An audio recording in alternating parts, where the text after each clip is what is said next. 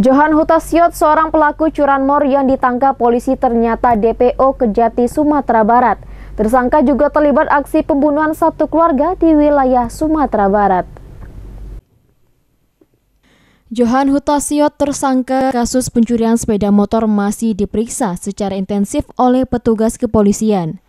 Dalam waktu dekat, tersangka tersebut akan segera menjalani proses persidangan di Pengadilan Negeri Jambi. Selain kasus pencurian sepeda motor yang dilakukan di Kerinci dan Kota Jambi, ternyata tersangka juga merupakan DPO kasus pembunuhan satu keluarga di wilayah Sumatera Barat. Kapolsek Kota Baru AKP Afrito mengatakan, petugas kepolisian telah melakukan koordinasi dengan pihak Lapas Sumatera Barat. Tersangka sendiri telah difonis hukuman mati oleh majelis hakim atas kasus pembunuhan tersebut.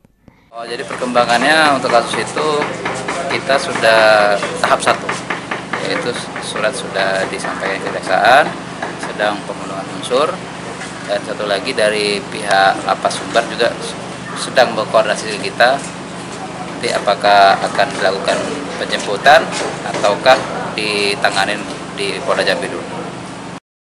Asar Patahangi, Jack TV melaporkan.